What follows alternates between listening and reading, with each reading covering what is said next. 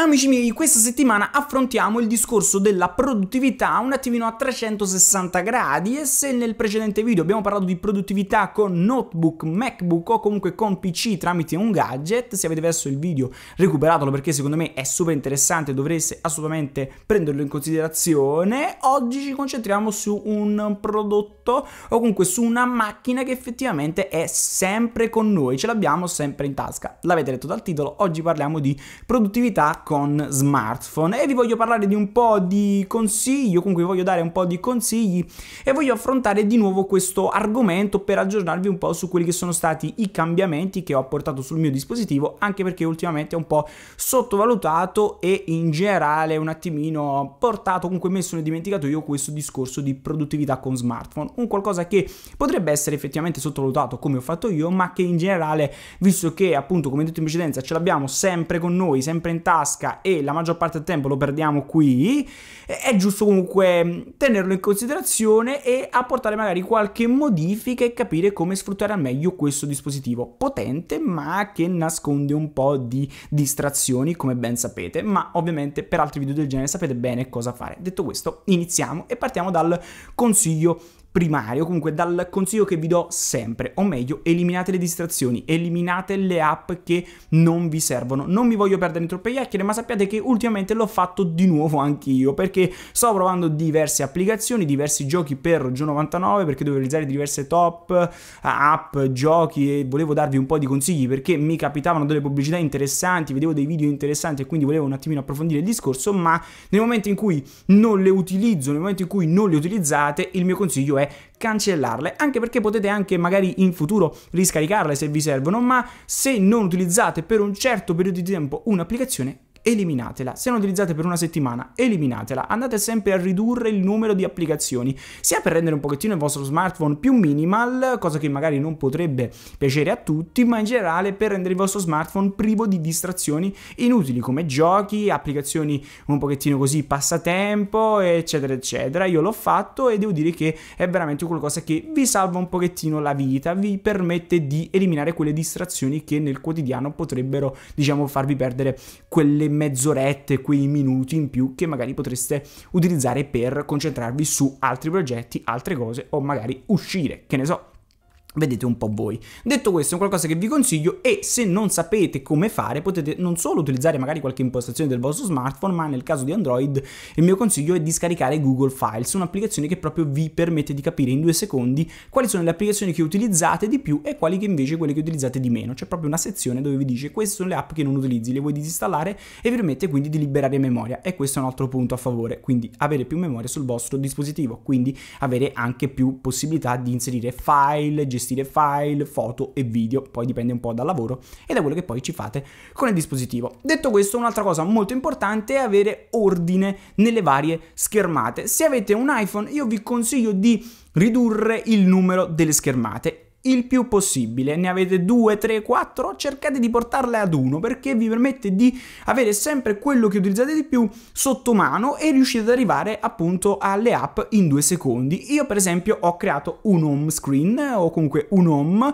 principale con all'interno le app che utilizzo e un po' di widget. In generale per quanto riguarda i widget ho inserito il calendario perché ultimamente lo sto utilizzando molto, parleremo del mio workflow prossimamente quindi attivate la campanellina. Things dovrebbe chiamarsi così che è l'app che sto utilizzando ultimamente per i task, l'ho scaricata per provarla e poi mi sono affezionato, capirete anche di questo in un altro video, ma vi consiglio comunque in generale sempre eh, anche minimalist, gratuita e non comprate questa perché costa un fracco di soldi, affronteremo il discorso in un altro video e poi Spotify perché quando magari edito video, foto, no video no, però foto sì e magari quando scrivo un po' di articoli mi piace mettere un po' di musica, in generale jazz, parleremo di produttività e musica in un altro video. Lo so, spoiler di spoiler di spoiler, però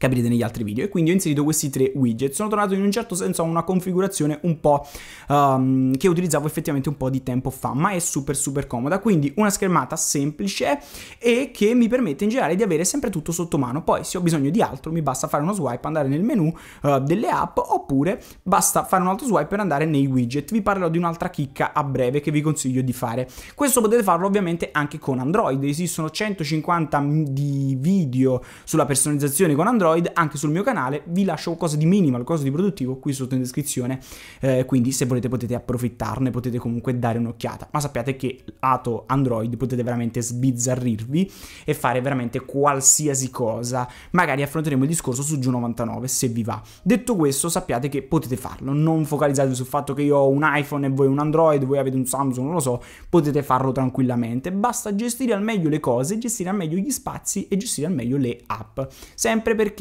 avere ordine è meglio, comunque portare questo discorso sull'ordine è meglio del disordine, perché riuscite ad arrivare al tutto in due secondi. Detto questo, andiamo avanti e un'altra cosa che vi consiglio di fare purtroppo questa volta solo con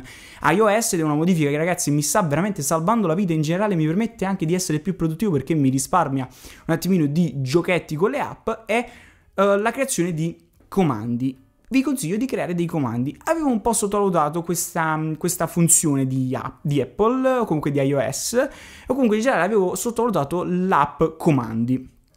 Ultimamente l'ho riscoperta perché stavo cercando, comunque studiando un po' di um, trucchi per iPhone da mostrarvi poi su Instagram, comunque anche su YouTube, ma proprio nel mentre andavo poi a studiare questa applicazione, nel mentre cercavo di capire qualcosina, qualche trucco, qualche consiglio da poi condividervi,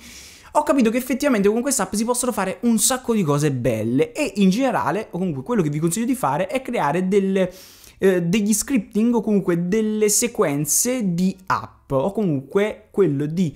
eh, preparare dei comandi che vi permettono di aprire più applicazioni contemporaneamente. Voi vi domanderete, e a che può servire questa cosa? Beh, pensateci, quando dovete, che ne so, uh, organizzare le vostre entrate e uscite, ok? Che cosa utilizzate? Io, per esempio, utilizzo la calcolatrice e Notion. Nel momento in cui devo fare una cosa del genere, cosa faccio? Apro Notion, mi do un'occhiata, poi vado nella calcolatrice, faccio il calcolo, ritorno in Notion e scrivo l'entrata, uscita, quel che sia, ok?